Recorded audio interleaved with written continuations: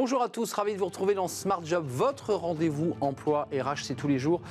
Du lundi au vendredi, débat, analyse, expertise au programme. Aujourd'hui, dans Bien dans son job, bien communiqué à l'écrit, mais aussi à l'oral. On en parle avec Gaëlle Féchant-Garnier, directrice de l'offre et de la pédagogie chez Youno. Smart et réglo, le droit, rien que le droit. Euh, on va parler d'un sujet un peu casse-tête, le compte épargne-temps. C'est Étienne Pujol qui nous en parlera dans quelques instants, avocat euh, en droit du travail. Et puis dans le cercle RH, manager demain, mais manager aujourd'hui à l'ère du télétravail face à des collaborateurs slasheurs. Management, mode d'emploi, on en parle avec nos, invités, des experts de ce sujet. Puis pour terminer, euh, nous ne serons pas dépaysés dans Fenêtre euh, sur l'emploi. Manager ne fait plus rêver, c'est la crise des, vocations, c'est ce que nous dira Julien Morisson, le fondateur du cabinet BI et le cofondateur de Chasseurs de Job. Voilà le programme. Tout de suite, c'est bien dans son job.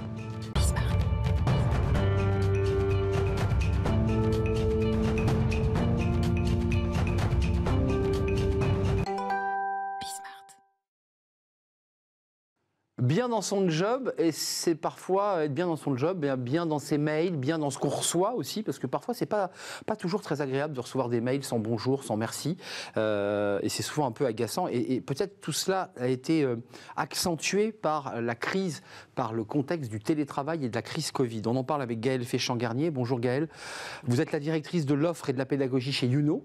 Euh, vous êtes déjà venu, pas vous, mais en tout cas des représentants de votre entreprise sur notre plateau. D'abord, quelques mots de contexte, parce qu'on va parler des quatre programmes de formation euh, à distanciel que vous mettez en place pour peut-être essayer de réduire euh, ou, gommer ces difficultés. Euh, c'est quoi le contexte aujourd'hui des collaborateurs? C'est quoi? C'est un monde atomisé? C'est un monde du travail où on est chez soi, on revient, on revient euh, sur le lieu de, travail? Oui, merci Arnaud. En fait, effectivement, aujourd'hui, c'est tout ce, ce, contexte de la communication de l'entreprise a été profondément bouleversé, évidemment, par la crise sanitaire, puisque on n'est plus dans un même lieu, on se retrouve tous dispersés, et donc donc c'est d'autres façons de communiquer, d'interagir entre nous. Et ça, vraiment, il faut se réapproprier de nouveaux codes. Alors, juste pour l'anecdote, parce que je peux me permettre de le dire, en préparant l'émission avec vous, vous me disiez, mais combien de mails j'ai reçu dans ce contexte comme ça, où tout le monde était un peu stressé, tout le monde apprenait finalement à travailler à distance, où j'avais ni euh, bonjour Gaël, comment vas-tu, et, souvent pas de merci.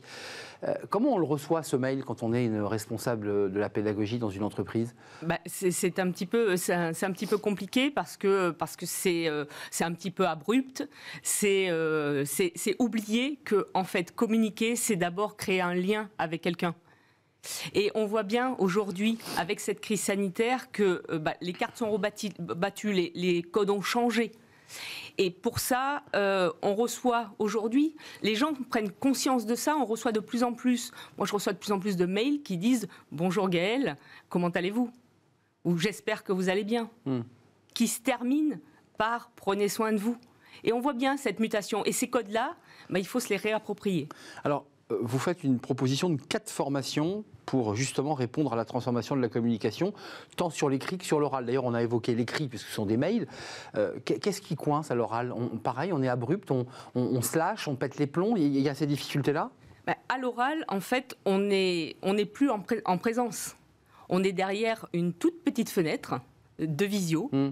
Et du coup, c'est assez, euh, assez amusant parce qu'en 2019, vous aviez dans, dans l'open space des profils euh, assez marqués de communicants. Vous aviez euh, le profil plutôt charismatique, sûr de lui, qui était capable de rentrer dans l'open space, de lancer une demande à la cantonade. Et peu importe, il n'était pas très précis, on ne comprenait pas toujours bien ce qu'il voulait dire. Mais il avait la gestuelle, il, était là, quoi. Il était là. Hum. Puis il y a le timide souvent, qui était un peu coincé près de la plante verte, qui n'osait plus bouger. À l'inverse, il y avait ce timide, qui, qui lui, ça lui a peut-être ouvert aussi un nouveau champ d'expression.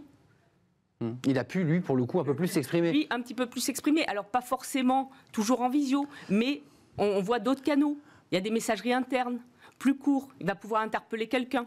Hmm. Il va oser. Il va oser. Ce qu'il ne faisait pas lorsqu'on était dans l'oral direct et il, était pétrifié à l'idée de s'exprimer devant les, 15 collaborateurs de son, équipe. C'est ça le, risque. Euh, commençons à rentrer dans le détail. Une des formations, il y en a quatre. Hein. On va commencer par communiquer efficacement à l'écrit comme à l'oral. Euh, là, vous, un, des items, c'est construire efficacement son message. Enfin, excusez-moi de vous le dire, mais enfin quoi, vous apprenez à marcher à la personne, quoi Non, on apprend à remarcher. C'est ça, à, bien marcher. C'est ça. Chez Youno, on s'est dit, euh, au départ, quand on a lancé cette gamme, en fait, euh, moi, je, réalise des entretiens euh, avec le marché, avec nos clients. Et j'ai un client qui m'a dit une phrase qui a lancé cette gamme communication qui est notre plus gros enjeu aujourd'hui, c'est donner du sens, redonner du sens et engager les gens. Mmh, d'accord. Et pour ça, évidemment, ça passe par la communication. Mmh. Et effectivement, on ne va pas leur apprendre, euh, enfin si, on va leur apprendre à ah écrire, à écrire efficace, parce qu'on ne va pas se noyer en fait dans des lignes. Enfin, efficace et poliment quand même. Et Non, mais ça passe aussi par quelques règles de bienséance.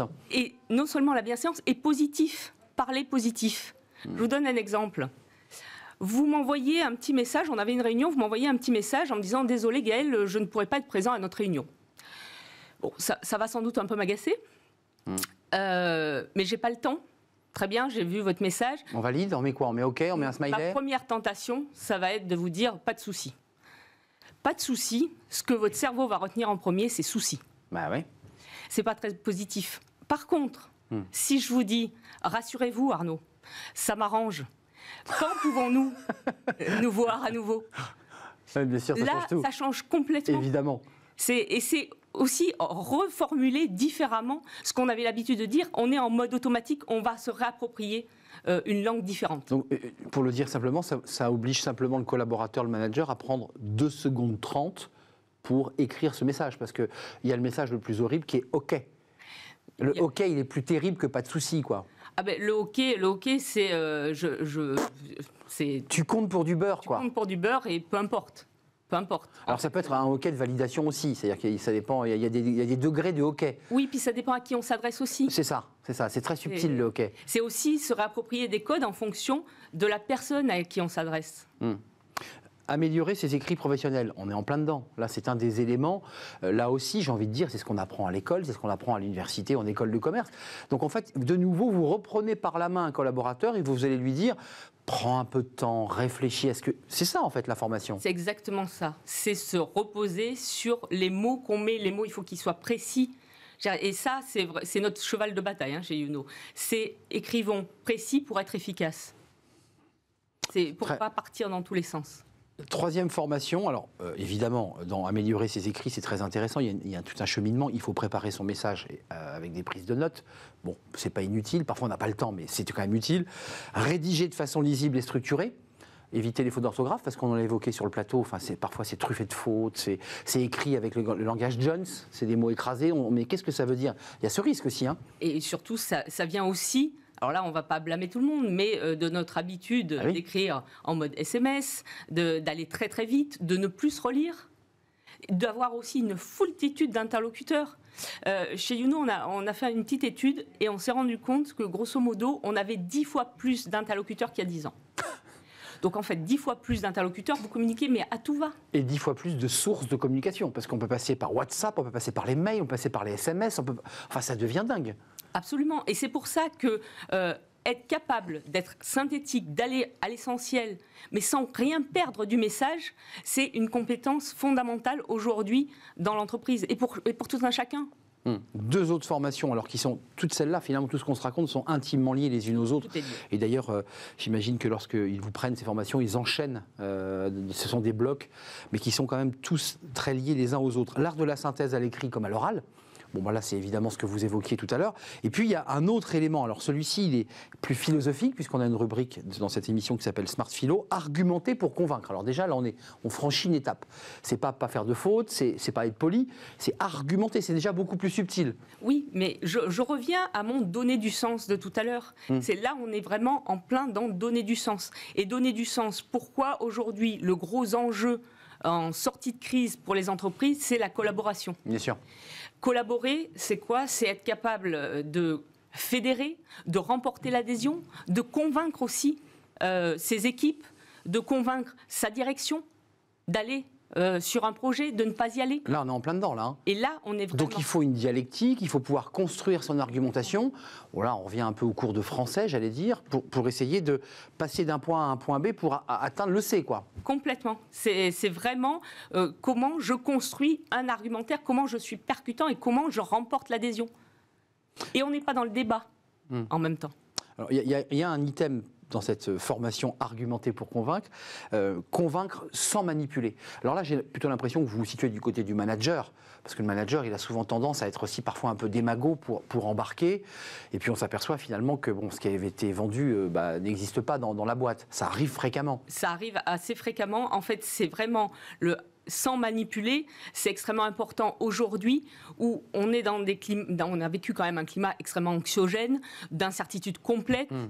Donc si vous rajoutez cette dimension de manipulation, je te vends du rêve tout le temps, quoi. C'est pas possible. Hmm. En fait, aujourd'hui, les collaborateurs, ils cherchent, et j'en reviens toujours à m'en donner du sens, un sens, mais un sens vrai. Donc un peu d'authenticité, un peu de vérité. je me, permets de le dire, parfois les managers, ils n'ont rien à, offrir. Enfin, et je veux dire, eux aussi sont, sont, quand même, on va en parler dans, le débat, mais ils sont eux aussi euh, sous tension des actionnaires, sous tension du, du, du CEO, et, ils n'ont rien à offrir. Ils n'ont rien à offrir. Peut-être qu'ils. C'est compliqué. certes, mais ce qu'ils ont à offrir, c'est au moins une écoute. Hmm une capacité à accompagner. De la bienveillance. De la bienveillance. Hmm. C'est ça aussi, c'est construire un climat de travail apaisé dans l'entreprise. Qu'est-ce que vous disent vos, les premiers euh, prospects ou clients de, ces formations? Ils disent mais oui, mais bon sang, mais il fallait y penser. Euh, c'est ce qui nous manque. Ça paraît tout basique, tout simple, et pourtant c'est essentiel. C'est vraiment, c'est comment aujourd'hui mes collaborateurs se réapproprient la, la langue, le message et, euh, et, le lien aussi, parce que ça marche aussi et ça, on le voit bien, et nous, euh, chez Youno, on le constate aussi, quand on parle à nos clients.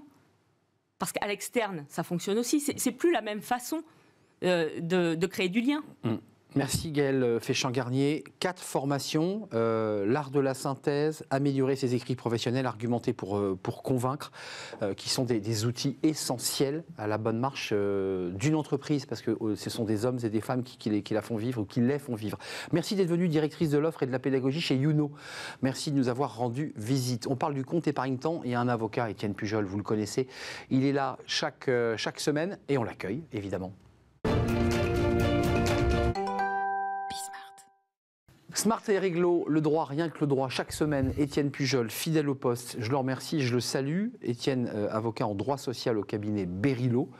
Et vous nous parlez, alors, euh, parce que évidemment, l'actualité Pécresse sur ces RTT qu'on pourrait transformer euh, en, argent sonnant et trébuchant, vous avez, nous avez parlé la semaine dernière de la possibilité de convertir les jours de congé non pris en produits d'épargne en citant le compte épargne-temps. Ce fameux compte épargne-temps, de quoi s'agit-il? D'abord, pour être précis, si j'ai bien compris, toutes les entreprises n'ont pas de compte épargne-temps, on est d'accord? Non, elles n'en ont pas parce que ce n'est pas une obligation. C'est ça. Donc euh, c'est un peu, comme je le dis depuis le début de mes interventions chez vous, c'est le fruit de dialogue social et le, euh, fameux. le fameux dialogue social.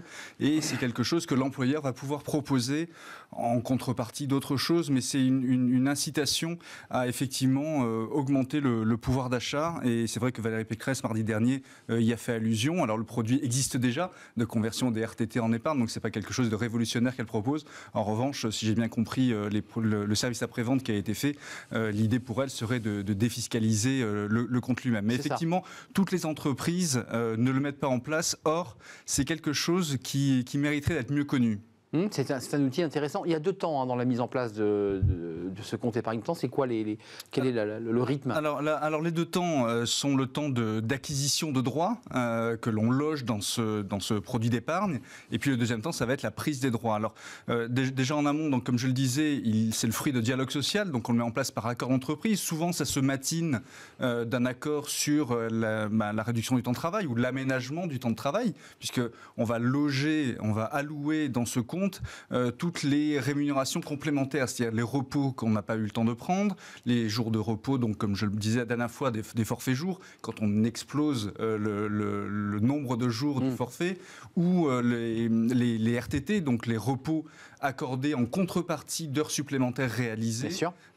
et, et, voilà, donc c'est essentiellement du repos que l'on va loger dans ce, dans ce compte épargne-temps. On peut aussi loger, et c'est un peu moins connu, de la rémunération.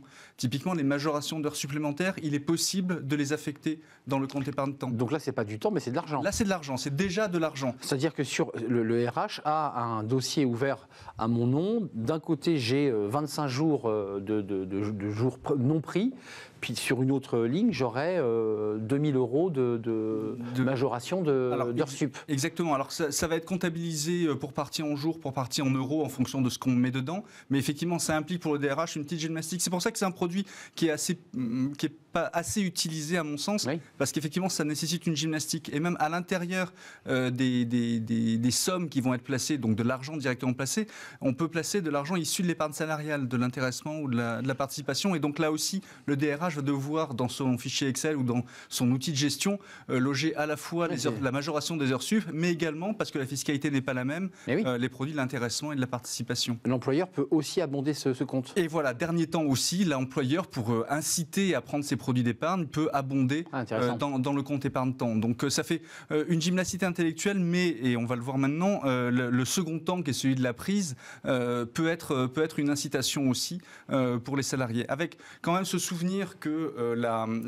la- contrepartie euh, de ce temps supérieur à la durée hebdomadaire de travail, euh, normalement, c'est de pouvoir se reposer. Donc il faut aussi faire attention dans la gestion à bien se soucier de ce que les salariés ne sont pas proches du burn-out, c'est-à-dire ne font pas trop d'heures supplémentaires qu'ils ne peuvent pas prendre et qui donc sont Ouais. exfiltrés. Ils remplissent, épargne ils remplissent leur panier, mais finalement sont épuisés en, et ils sont, exactement, en ils sont contrepartie. proches du burn-out. Donc il faut faire attention à ça, mais si c'est bien piloté, et c'est pour ça que je le mets souvent en balance avec les accords euh, temps de travail, les accords forfait jour, etc., euh, ça peut être un, un très bon outil. Avant de parler de, le- de leur utilisation, parce qu'après, une fois qu'on a son panier rempli, parfois on a envie de le consommer, Oui. euh, co- comment ça se passe? Qui, qui contrôle ces, ces- ces heures Est-ce que le salarié peut parfois les réclamer en disant Attendez, vous ne vous me l'avez pas mis là sur mes. Oui. J'ai travaillé en plus, vous ne l'avez pas noté Il a un accès à un tableau de bord où il voit réellement son Normalement- compte épargne? Oui, oui, tout à fait. Très, bonne- très bonne question, Arnaud, parce qu'il faut qu'effectivement Bah qu'il y ait- oui. qu'il y ait ce suivi-là, euh, parce que bah, voilà, c'est un droit pour les salariés, c'est une sorte de créance sur l'entreprise. Donc il faut que ce soit bien euh, utilisé.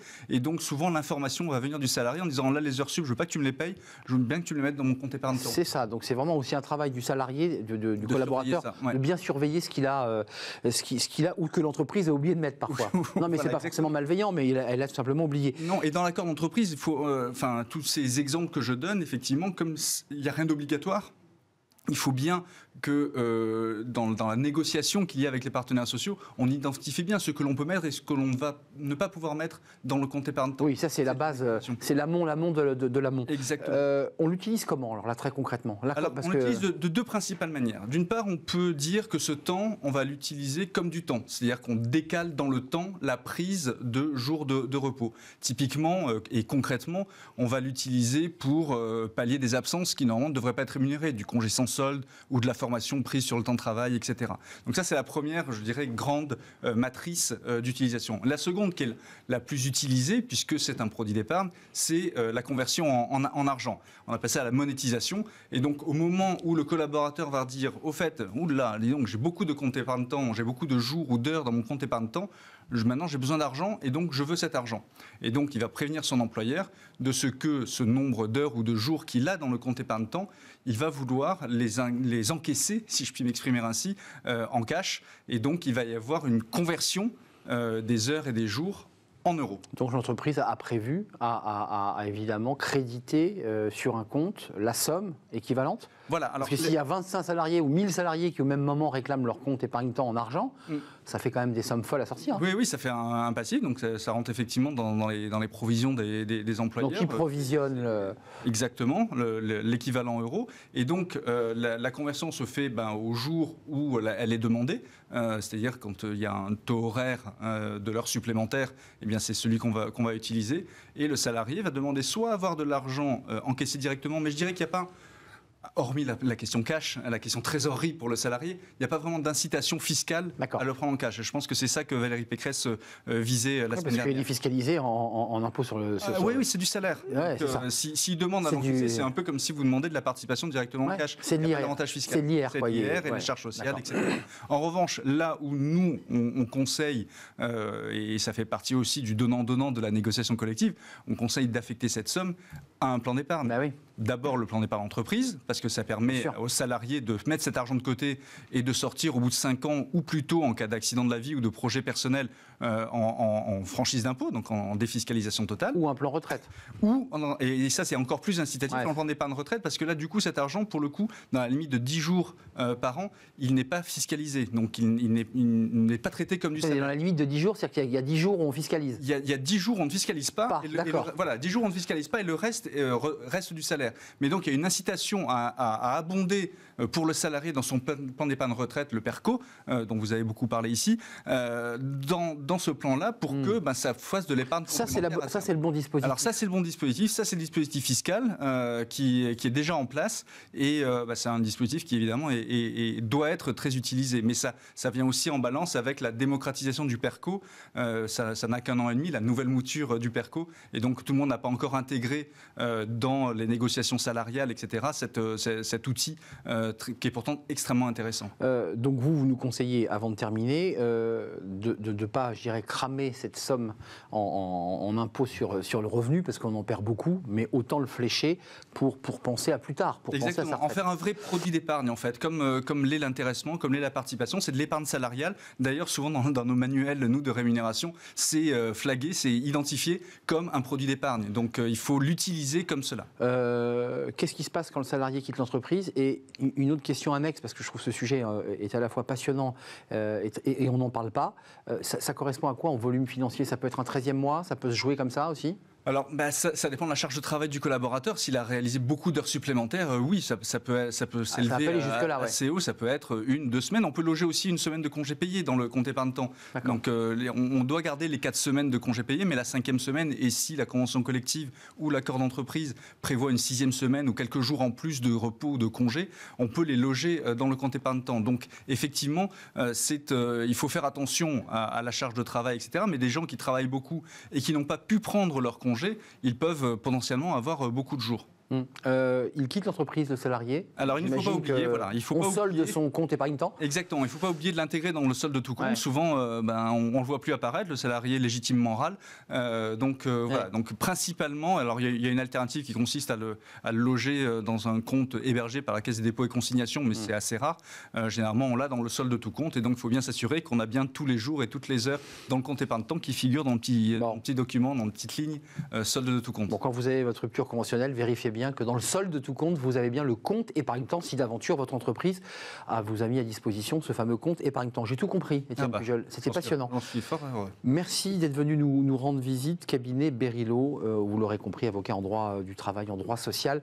Merci et je pense à la semaine prochaine. Exactement. On fait une courte pause, on parle des managers. Vous, ça fait écho aujourd'hui euh, à ce qu'on vient de dire au début de notre émission, puis vous verrez d'ailleurs à la fin, la place des managers a, évidemment été bouleversée. quel est leur rôle, leur fonction On va essayer de faire un mode d'emploi du management aujourd'hui dans un contexte de télétravail et d'organisation atomisée. C'est pas simple pour les managers. On en parle avec nos invités des experts juste après la pause.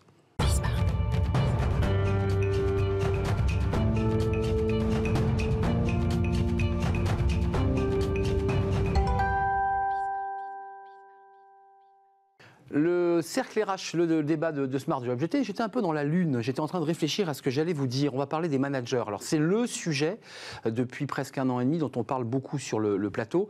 D'abord, qu'est-ce qu'un manager exactement? Est-ce que c'est une vraie fonction? Est-ce que c'est une fiche de poste? Je ne crois pas. Euh, manager aujourd'hui, manager demain, euh, dans un contexte de télétravail, de réorganisation évidemment du, travail, ça ressemble à un casse-tête et puis à un peu une crise d'évocation aussi, parce que les managers aujourd'hui, bah, c'est compliqué pour eux. Euh, ils doivent à la fois contrôler, animer, faire de la psychologie. Bref, tout ça est très compliqué. On en parle avec mes, invités et ils ont un avis sur la question évidemment. Nina Buffy est avec nous. Bonjour. Bonjour. Vous êtes fondatrice de Open Opal. par ailleurs, vous, vous vous avez aussi une autre activité professionnelle à côté, euh, je crois en charge de, du numérique des questions numériques Je travaille dans une équipe qui est en charge des questions de numérique en santé au ministère de la Santé. Vous vous définiriez, vous, comme manageuse? Ah non, non, non, moi je fais tout pour euh, rentrer dans des, dans des équipes et enlever les managers. Euh. Ah d'accord, donc vous faites partie de ceux qui coupaient la branche en disant on travaille euh, en, horizontal, mais pas un manager comme ça qui vient superviser tout ça. C'est ça un peu le... C'est un petit peu plus subtil que ça, parce que de l'horizontal ça marche pas non plus, mais, mais, ah, c'est ça. le débat commence mal. Si le vertical ne fonctionne pas et l'horizontal non plus, vous allez nous trouver peut-être une formule intermédiaire. version tour de Pise. C'est ça, version au milieu, un 45 degrés. Éric Albert, merci d'être avec nous. Vous êtes le fondateur fondateur de YouSide. Euh, et justement, vous avez sorti un livre chez Erol, Le manager est un psy. C'est ce que vous portez, en tout cas, je dirais, c'est ce que vous allez nous raconter. C'est n'est pas une fonction, c'est plutôt une attitude d'accompagnement. Bah, c'est un rôle. Ça n'est pas une fonction, mais c'est un rôle. Le, le, manager, il a, il a une population autour de lui et il faut que cette population, il en tire le meilleur. Euh, dans un contexte avec des contraintes contradictoires dans tous les sens. Hmm. Donc, Entre ce qui vient d'en haut. Ce qui vient d'en haut, ce qui vient des côtés. Euh, donc il est, il est pris dans cette, ce, jeu de contraintes avec des acteurs. Et comment est-ce qu'il donne envie à ces acteurs? USAI, c'est le premier cabinet de conseil spécialiste des mutations culturelles euh, et des comportements. Donc on parle évidemment de le comportement, c'est le psy. Puis Didier Pitlet qui est déjà venu, vous êtes tous les deux déjà venus sur le, plateau, c'est un vrai plaisir de vous accueillir. Président, alors vous avez plusieurs casquettes. Euh, président de la, la maison Enoch Consulting, et puis il y a président du cercle du leadership, où là, tout au long de l'année, j'imagine en 2022, vous aurez des cycles et des séquences de, conférences, d'échanges euh, très, très formels et informels. Pourquoi? C'est-à-dire, c'est quoi l'objectif Le cercle du leadership, c'est un, think tank qui euh, travaille euh, sur tous les enjeux futurs, justement, du leadership.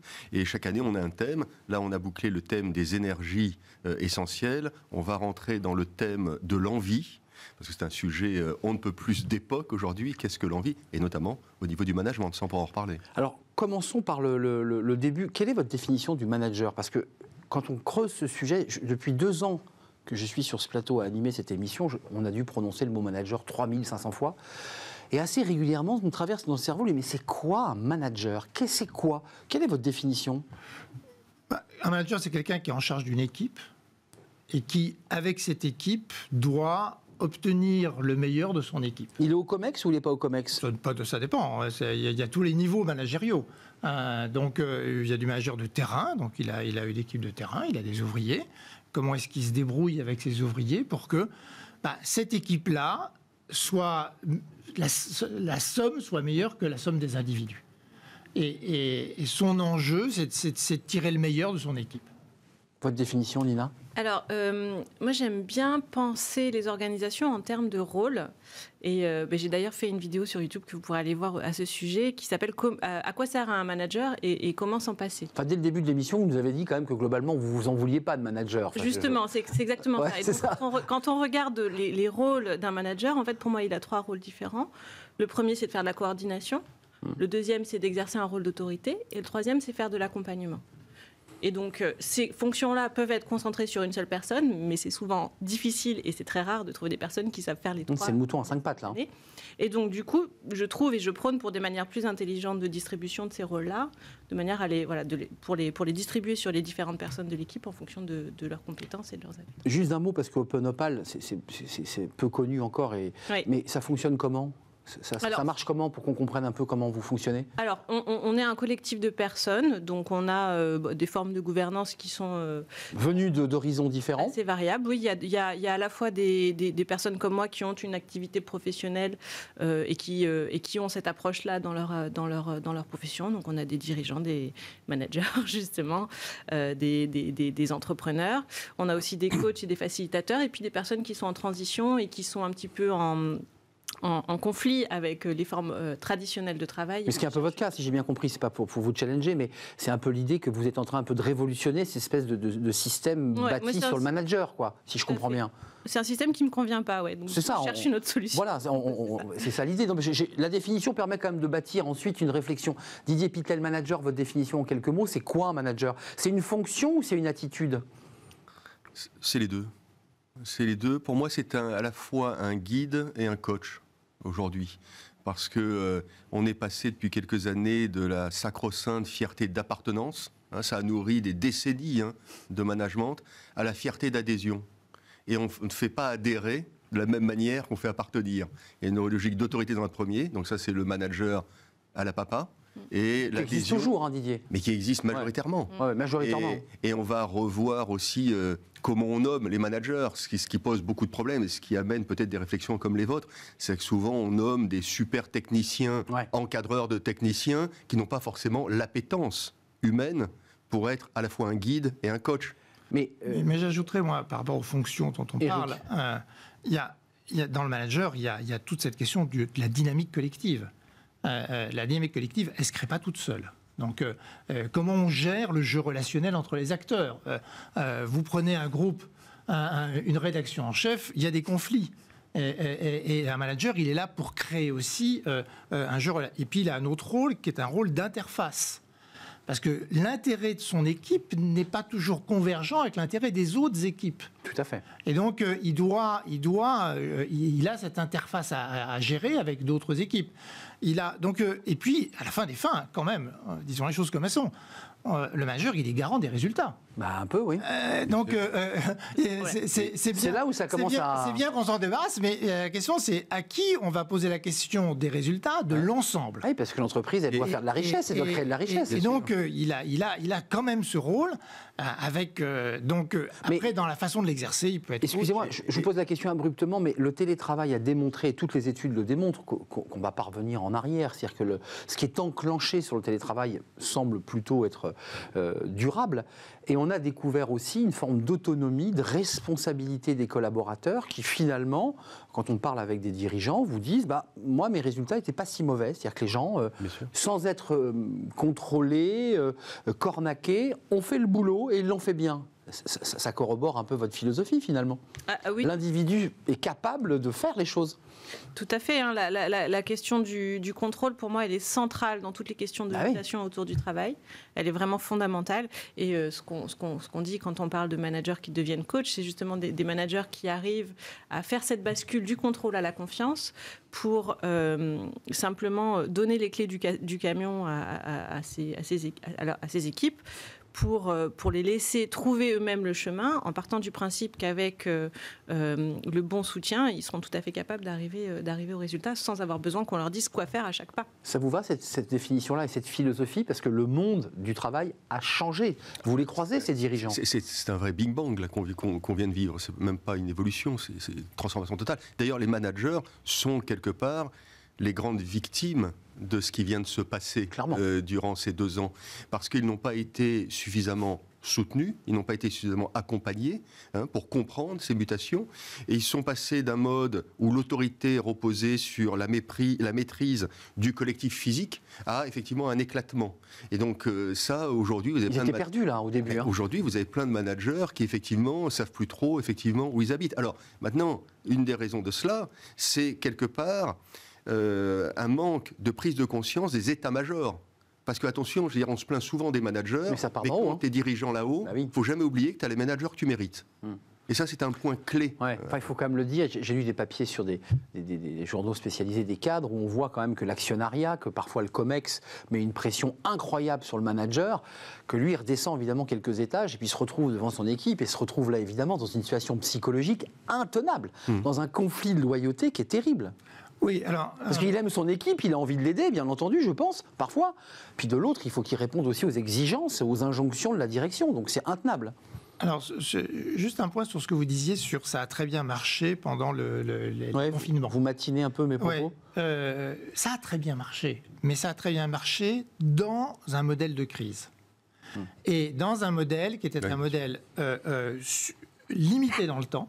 Et on voit bien qu'aujourd'hui, on a un sujet énorme, très nouveau et très intéressant, qui est comment est-ce que on trouve un équilibre entre des nouvelles formes de travail dans lesquelles on aura du présentiel et du distanciel. Mais c'est- la formule. Et là, il y a une nouvelle, il y a une nouvelle fonction du manager qu'on n'avait pas du tout pensé jusqu'à présent, c'est que du coup, quand vous êtes en présentiel, il faut être là pour créer de l'informel, pour créer de la convivialité, pour bosser ensemble, Pour profiter de ces moments, quoi, on va dire. Le lien de la social. relation Ouais. et pour élaborer ensemble. Et donc le manager, il a un nouveau rôle, c'est qu'il doit être animateur. C'est ça. C'est-à-dire qu'il devient, euh, il, il- il- il- il devient, il devient exactement. organisateur. C'est-à-dire qu'il faut que quand les, les collaborateurs viennent au Il bureau, faut qu'il soit à disposition. il quoi. se passe quelque chose. Bah, S'il s'enferme dans le bureau, ça marche pas. Il faut se, il faut qu'il se passe quelque chose. Si c'est rien passé, si je suis venu au bureau, je me dis, bah, j'aurais fait la même chose chez moi. C'était nul. Ah bah alors là, c'est double punition et les gens viendront plus. Ouais. Et- Donc euh, il faut absolument. Donc il y a un nouveau rôle. C'est très intéressant. Donc une- il faut, leur- il faut les doter de cette. euh, Il faut, il faut qu'il se passe un truc, il faut qu'il y ait, un- il faut qu'il y ait des événements, il faut,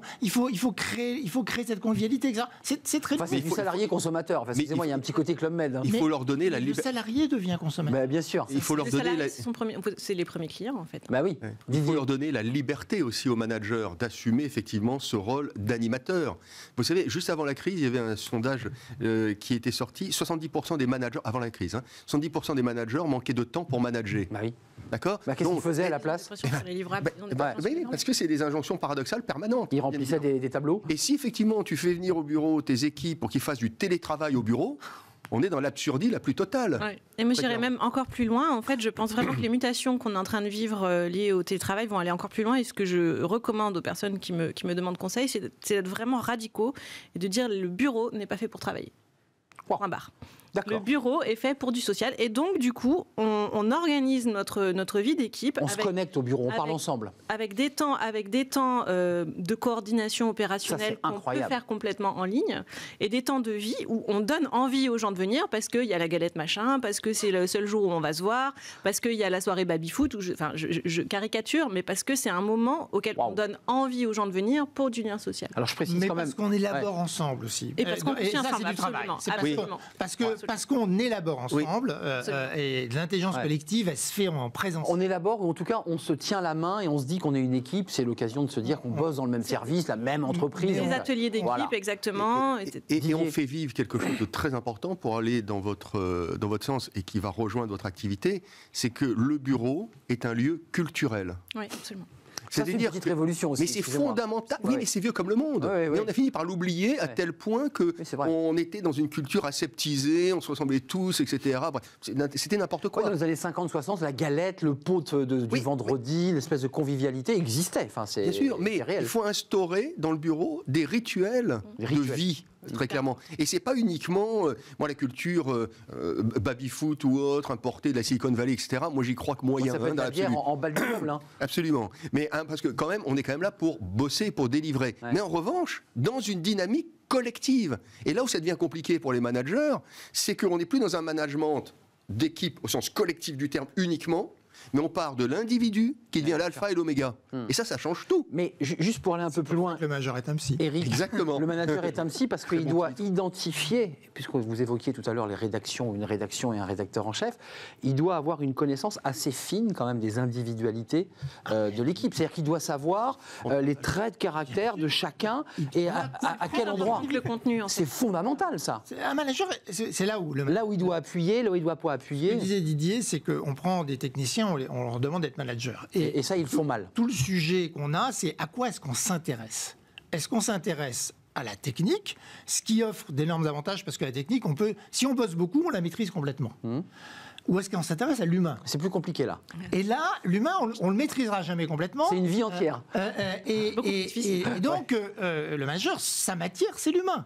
Sinon, il faut qu'il fasse, il faut qu'il fasse Autre chose. euh, de l'informatique. Euh, c'est- c'est- c'est- Donc, Ouais, c'est le malentendu ça. Euh, le- et, et- et donc, c'est ça qui est, qui est- qui est fondamental, hein, c'est qu'on doit vraiment se centrer sur les individus et la dynamique collective et le jeu collectif. Et donc, c'est vraiment ce, le manager, il est là pour ça. Juste, euh, il nous reste un petit peu de temps encore, mais euh, dans les recommandations que vous faites, parce que là, on a fait un diagnostic, on a posé des, difficultés ou, annoncé des choses qu'ils devraient faire.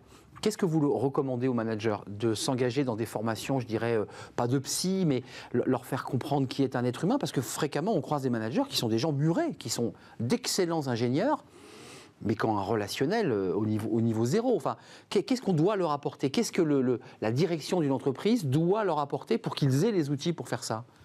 Et surtout que ces gens-là, souvent, en souffrent. hein. Ben, Bien sûr. Euh, ce qui, Oui, ils sont murés et ils en souffrent. Alors, y, il y a deux réponses. Il y a de la part du manager en soi. euh, moi, je les invite à déconstruire un petit peu ce qu'il y a derrière les représentations, parce que souvent c'est intéressant de, gra- gra- de gravir les échelons, parce qu'il y a des représentations de su- succès social, de de virilité, prestige, etc., qui sont un peu décorrélées euh, de l'adéquation avec euh, le métier euh, dans le concret qui se passe au quotidien. Donc, ce qui est intéressant pour eux, c'est d'essayer de comprendre un petit peu pourquoi c'est important pour eux de grimper, qu'est-ce qu'il y a derrière, et Ah oui, c'est très- dans quel ah, c'est très introspectif. Ah oui, hein, mais, en même sérieux temps, ce que vous dites là. mais en même temps, je pense que c'est assez inévitable. Et de la part de la direction, euh, de la même manière, réfléchir à un plan de valorisation des individus euh, qui soit plus justement sur, euh, sur la prise en compte de l'individualité, quelque chose que plus, qui, qui rajoute un degré de complexité hein, quand on commence à prendre les individus Oui. un par un dans leurs individus. Essayer de les comprendre, C'est beaucoup de les- plus difficile que de faire du que de faire De la quelque masse. chose faire, faire quelque chose de masse, mais voilà, vraiment comprendre com- et, arriver à donner des réponses qui permettent de valoriser les personnes en fonction de ce qu'elles sont capables de donner. Et donc finalement, euh, moi vraiment, j'encourage à, à- à reconsidérer toutes ces questions de quel est le rôle du manager, à quoi il sert, bon, il sert à ça, à ça, à ça, à ça. Comment est-ce qu'on peut valoriser les personnes et le décorréler complètement, puisque je pense que c'est souffre de souffrance et d'ineffica- d'inefficacité. Pour tout le monde, parce que je- je- euh, on parle de là d'une manière théorique, mais quand on a des invités en plateau, nous disent, des gens qui accompagnent beaucoup les entreprises, nous disent, nous on est, on est face à des situations de conflit terribles. Il y, a- il y a- il y a des éléments conflictuels, c'est-à-dire que le télétravail a peut-être adouci, encore que, mais ils nous disent, nous on, on dénoue des conflits. Euh, c'est ça aussi l'objectif, c'est d'avoir des managers qui euh, sont plus des, des quoi, des, des, des- des caporal-chefs mais qui soient quoi Des animateurs, des gens qui puissent écouter euh, et que le collaborateur se dise il m'écoute, il a entendu ce que je lui ai dit, il est bienveillant. Bien Il y, a- il y a de ça. Un peu d'amour, quoi, pour le dire simplement. Exactement. Oui. Euh, on n'a jamais trop d'amour. hein. Non, mais c'est vrai. Mais euh, pour aller dans, dans- dans le sens euh, de Madame, je crois que ce qui est important, c'est en amont dégager une énergie spirituelle dans Évidemment. l'entreprise. Et Ouais. j'utilise volontairement le terme parce que ça, ça, ça interpelle, ça choque. Ça Et- rigole pas, là, ce que vous nous dites. hein. Mais non, mais c'est fondamental. Le premier rôle des dirigeants d'un comité de direction aujourd'hui, c'est d'être capable de qualifier son ambition humaine. Hum Quand vous posez la cette question, euh, mais ça va même au-delà. Ouais, c'est bien- bien C'est de quoi je veux être fier sur le plan humain Hum. Eh bien, je vous assure, faites le pari. Vous interrogez tous les membres d'un board d'une grande boîte. La plupart du temps, quand on leur dit à 3-5 ans de quoi tu es fier sur le plan humain, ils ne savent pas répondre. Parce que l'humain est devenu une chose technique confiée au DRH. Or, dans l'absolu, le leadership humain, il est avant tout entre les mains de l'équipe de direction qui va impulser cette exemplarité. Et s'il y a du leadership spirituel, derrière, il y aura des croyances partagées. Et là, on en revient à ce que vous disiez tout à l'heure, c'est qu'effectivement, on va donner et à partager un acte commun. Parce que comme effectivement tout s'est fragmenté au niveau de l'individu, il faut bien renouer le sens du collectif. Et ça, c'est ce bien commun. Et donc cette croyance. Dernière question, enfin en tout une, question très large, puisqu'on est monté très très haut dans, la réflexion euh, approfondie. Est-ce que c'est la fin des managers tels que vous les évoquiez au début de l'émission, c'est-à-dire les managers euh, du 20e je donne des ordres, il n'y a qu'une seule tête, euh, on doit délivrer, tu, tu te tais et on avance. Est-ce que c'est la fin de cette ère-là? Moi- enfin, c'est. on- on Même est- si elle existe toujours, on est, précisons-le. on est absolument à une charnière où on est en train de réinventer complètement. Mais c'est pas du tout la fin du management. Moi, je. Non. Vous y croyez encore? Je ne pense pas, comme Nina, que que- que on peut se débarrasser du management. Euh, je crois au contraire que euh, euh, je, je suis un peu moins pessimiste que Didier sur, sur ce qui se passe au niveau des boards en ce moment. Euh, en tout cas, Pessimiste, ils, ont, ils ont pris conscience? Oui, ils se rendent compte à quel point le sujet majeur, c'est les people. Tout le monde aujourd'hui, Hmm. Enfin, je, ne connais pas. De, de- vraiment, je ne connais pas de, de comité exécutif qui ne soit pas extrêmement préoccupé par bah, le, le- le- entre guillemets le net promoter score de, de- de leur Hmm. entreprise, l'intérêt euh, qu'il y a à venir chez eux, euh, comment est-ce qu'ils attirent les talents. Euh, ils savent bien que le sujet majeur est là. Donc, euh, et tout le monde commence à se poser la question. Donc, mais ce qui est certain, c'est que le rôle du manager est à réinventer complètement, notamment parce que nous, les modes de travail ont complètement évolué. Clairement. Juste un mot sur les jeunes, parce Oui. que euh, je- pour terminer, parce que la relève, c'est les jeunes. Moi, j'ai lu, alors c'est assez contradictoire, il y a des études contradictoires. Certains disent, moi, je suis prêt à être manager, mais j'ai lu aussi des études où les jeunes disent, vous les avez en recrutement, qui vous disent, hein, mais je veux pas être manager. C'est c'est- Moi- moi, c'est un je- peu une tendance quand même, hein, qui sûr. disent, moi, je veux pas être manager. Bien sûr. Juste pour revenir une seconde, je suis d'accord, la plupart des états-majors ont conscience. Mais entre la conscience et la prise de conscience, il y a un gap. Et c'est là où il y a eu du travail justement pour passer à l'action. Et les jeunes, Heureusement, c'est- ça- ça bien sûr, exactement. C'est- c'est- c'est, euh, ce sont les jeunes. Vous existez grâce à ça. Bien- Bien sûr, bien sûr. Dieu Ce, merci. ce sont les jeunes qui répondent à la question est-ce qu'il y a encore ou pas des managers Parce que la nouvelle, moi j'ai la chance de- de- de- d'enseigner dans, dans une grande école, mais les jeunes ne veulent plus du tout du modèle de manager des C'est années ça. 2000. C'est fini ça. La verticale, ça tombe, tu te têtes, si avance. vous mettez un jeune Z entre les mains d'un petit capot, pour reprendre votre expression, au bout de deux mois, même pas, il se barre. Ils se lâchent. Mais c'est évident. Et, et les Nina, vous en pensez quoi de je, ce... je pense que les, les- les grands groupes et les administrations, pour le coup, Oui, parce que vous êtes dans coup, une administration. partie, avec, avec une mission de transformation euh, assez, assez radicale, hein, euh, dans une petite équipe. Mais, euh, mais les grands groupes et les administrations qui ne parviendront pas, et c'est déjà, le- et c'est déjà, le, c'est déjà le cas, hein, qui ne parviennent pas à, à effectuer cette transformation, ils vont être dans un- une crise de recrutement euh, majeure. Mais, c'est déjà le cas. Et on est dedans. Oui, on est dedans. Justement, puisque vous avez un pied dans, dans, euh, Open Opal et aussi dans une administration sur laquelle vous transformez le digital, le numérique, Mm. c'est c'est une petite révolution aussi in- interne. Euh, comment ça se vit cette relation au manager? On dit pas manager dans la fonction publique? Euh, non, dit chef. Eh ouais, c'est ça. Non mais juste, c'est intéressant On est les resté mots. assez On est traditionnel. resté bien à l'ancienne. Voilà, je trouve que manager reste un peu fun. Enfin, il y a quelque chose de manager. Quand on dit chef, déjà, ça, bon, ça tombe. Ouais, ouais, Et votre chef, euh, il, il est bien, votre chef ou Alors, pas? j'ai la chance, j'ai la chance d'être dans une équipe qui justement est une petite équipe euh, assez euh, dans l'ensemble de l'organisation. C'est un peu les rebelles, quoi. qui s'est qui s'est monté récemment et pour lequel on n'a pas vraiment donc euh, c'est ma mission hein, de structurer cette équipe pour qu'elle fonctionne de manière Ah atypique. oui, vous, Donc vous êtes chef? Bah donc vous êtes chef. Non non pas du tout pas du tout Oh là là là là. pas du tout j'ai aucun j'ai aucun euh, parmi les rôles du manager le seul rôle que je vais avoir c'est celui de l'animateur. Je n'ai aucun. Je n'ai aucun aucune la- la- la- la- le Garder résultat cette cohésion, créer de la Voilà, cohésion. le résultat de l'équipe ne dépend pas de moi, mais de l'équipe, etc., etc. Mais en revanche, il y a une personne qui est euh, la déléguée ministérielle au, numérique en santé, qui elle fait le lien et qui assure cette interface avec les autres, euh, avec les autres entités, Hmm. et qui donc du coup a, a, premièrement besoin de monter en, en compétences pour arriver à comprendre quel- comment traduire ce langage. Éminemment complexe. C'est très complexe, ouais, ouais, mais c'est passionnant. Mais vous soulevez un point, on n'a pas le temps, mais vous soulevez un point intéressant, notamment sur les sujets de la tech et du numérique.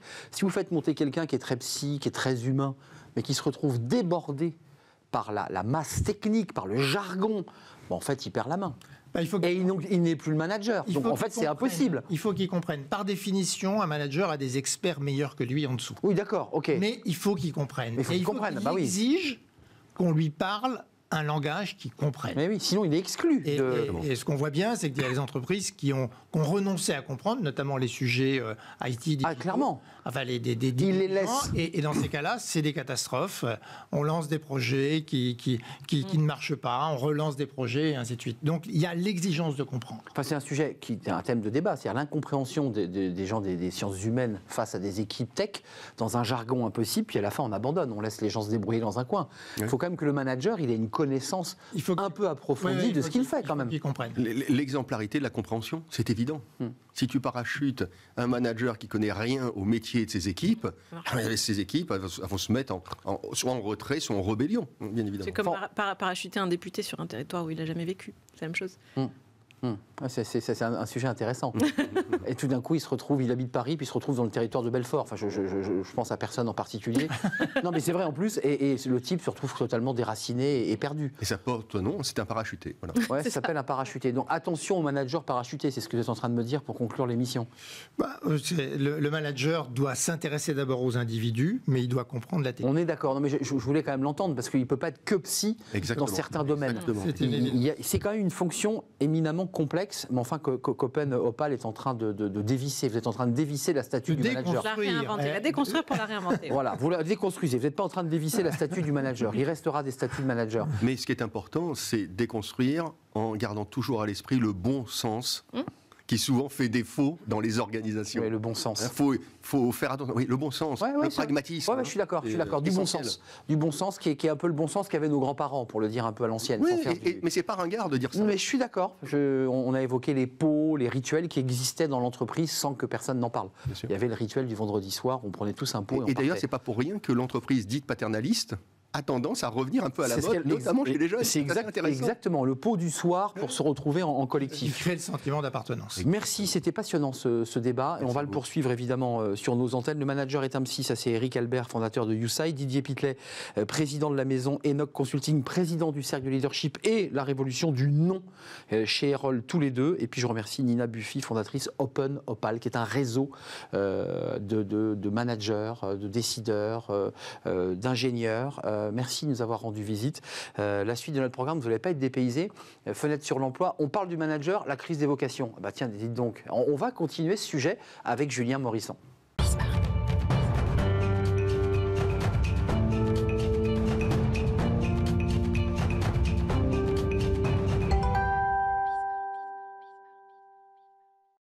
Fenêtre sur l'emploi. Pour rester dans le sujet, puisqu'on vient d'évoquer longuement le- les managers, leur rôle, leur place et leur fonction, on en parle avec Julien Morisson de ces managers. Bonjour Julien. Bonjour. Belle année à vous, puisqu'on ne s'était pas. Pareillement, bonne année.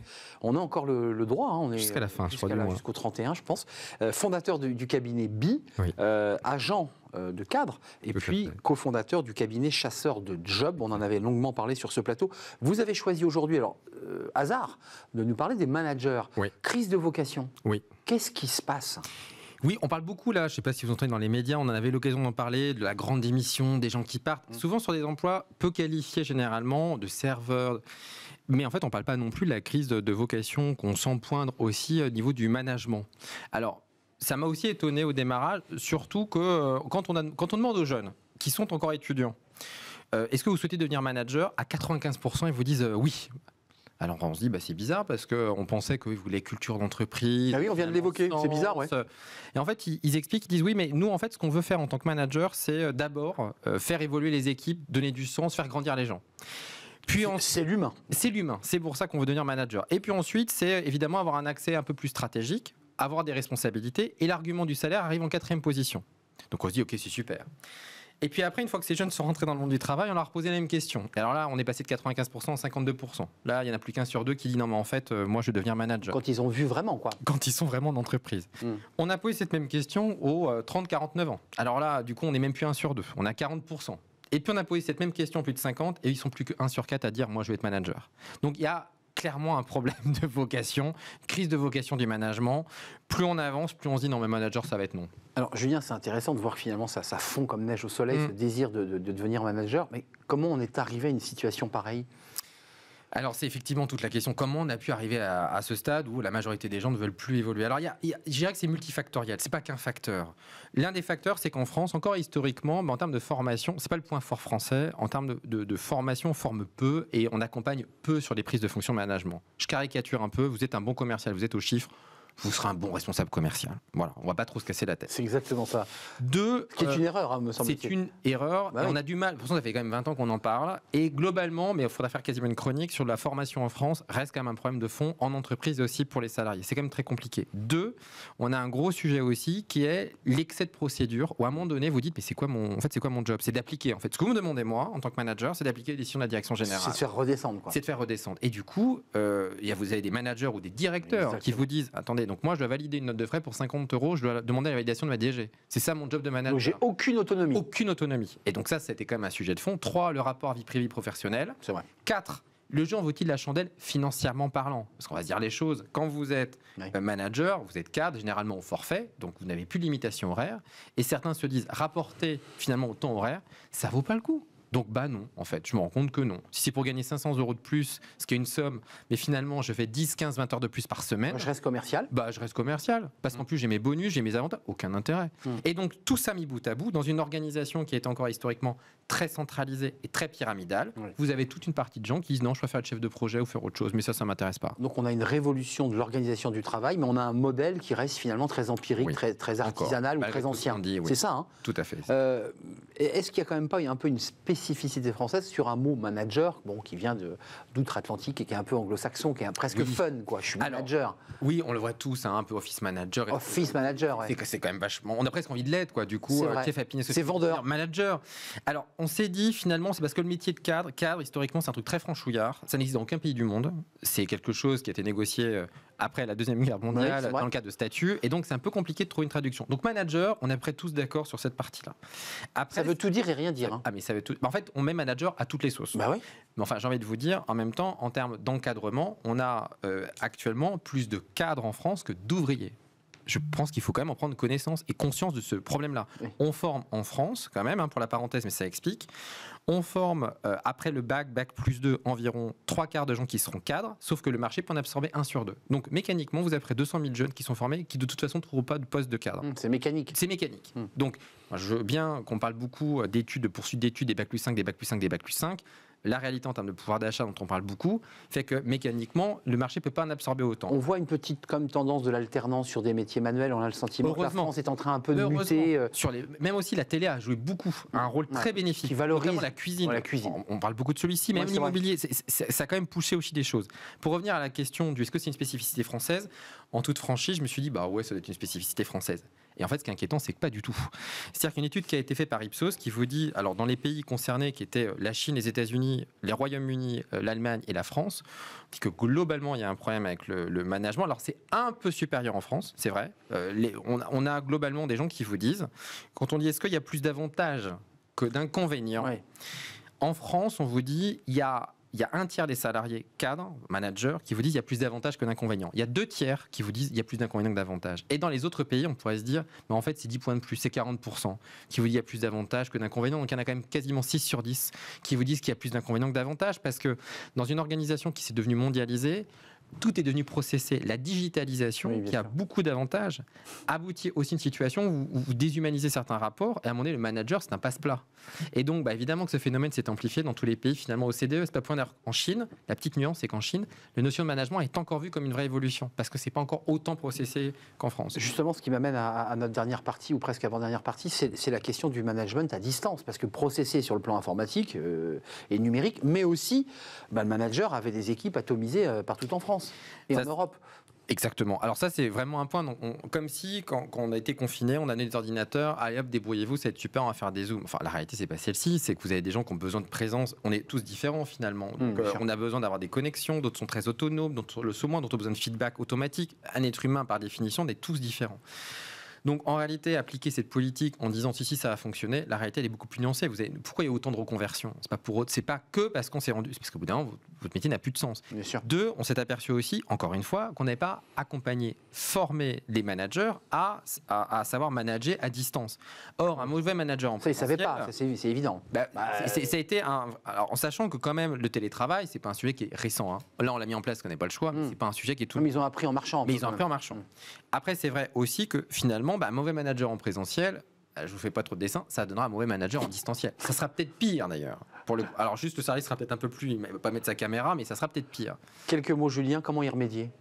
Alors, pour moi, dans les remèdes qui à apporter, un, je réitère ce qu'on disait, c'est-à-dire la formation. Il faut véritablement mettre le paquet sur former un manager. Clairement. Qu'est-ce qu'un manager? Est-ce que c'est quelqu'un qui donne du sens, de la vision? Est-ce que c'est quelqu'un qui est capable de mettre du lien? Donc ça, c'est comme un point qui est, de mon point de vue, essentiel. Deux, à moment donné, il va falloir se poser la question des organisations. Est-ce que le rôle du manager a encore du sens dans les organisations très pyramidales? Alors, moi, je suis pas un ayatollah, je suis pas le chantre de l'entreprise libérée. Je pense qu'il y a d'autres modèles à explorer et que ce que sera peut-être des petits îlots, des petites entités dans lesquelles vous allez redonner l'autonomie. Et de grâce, les procédures, c'est très bien. Attention à l'excès de procédures qui déshumanisent et font finalement perdre de vue euh, l'essence même du manager. Merci Julien, c'était très cohérent avec le débat que nous venons d'avoir. Euh, merci d'être venu nous éclairer sur bah, cette crise de vocation qui est très concrète, vous nous l'avez apporté en chiffres. Merci Julien, fondateur du cabinet BI et euh, cofondateur du cabinet chasseur de job. On en a parlé, peut-être reviendrez-vous en parler avec nous. Merci à vous, merci à toute l'équipe, merci à la réalisation, merci à notre amie Héloïse au son, à Alice Pitlet pour, Pitavi pour euh, la réalisation et merci à Fanny Gressmer, je vais y arriver, euh, qui m'accompagne dans cette émission. Merci à Carla pour l'accueil invité.